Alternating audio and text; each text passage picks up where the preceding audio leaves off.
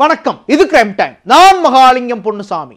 தேசிய மருத்துவ ஆணையத்தில் உறுப்பினர் பதவி வாங்கி தருவதாக சென்னையை சார்ந்த பிரபல மருத்துவமனை மருத்துவரிடம் எழுபது லட்சம் பண மோசடி செய்த போலி ஐஏஎஸ் அதிகாரி போலீசாரால் கைது செய்யப்பட்டிருக்கிறார். டாக்டர் ஏமாற்றப்பட்டது.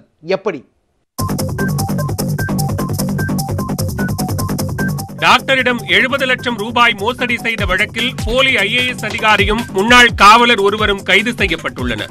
மோசடி அரங்கேற்றப்பட்டது எப்படி?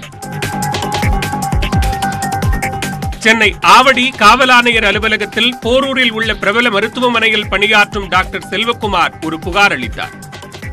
அதில் சேலத்தைச் சேர்ந்த ஐஏஎஸ் அதிகாரி சசிகுமார் தனக்கு தேசிய மருத்துவ ஆணைய உறுப்பினர் பதவி வாங்கித் தருவதாக கடந்த இரண்டாயிரத்து பத்தொன்பதாம் ஆண்டு எழுபது லட்சம் ரூபாய் பணம் வாங்கினார்.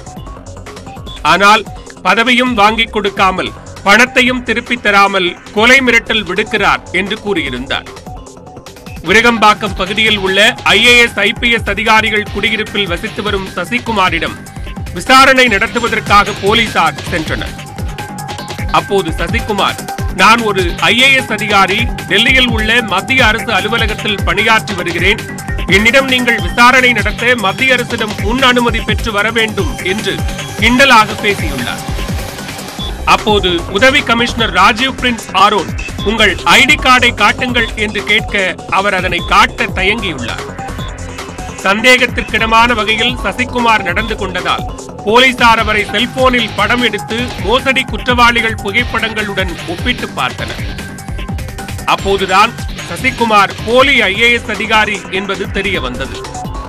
இவர் மீது ஏற்கனவே ஒன்பது வழக்குகள் நிலுவையில் இருப்பதும் இரண்டு முறை போலீசார் கைது செய்ததும் உறுதியானது. உடனே தனிப்படை போலீசார் சசிகுமார் மற்றும் இந்த மோசடிக்கு உடந்தையாக இருந்த முன்னாள் காவலர் நடராஜன் ஆகியோரை கைது செய்தனர். அவரிடமிருந்து பதினைந்து லட்சம் ரூபாய் பணத்தை பறிமுதல் செய்தனர்.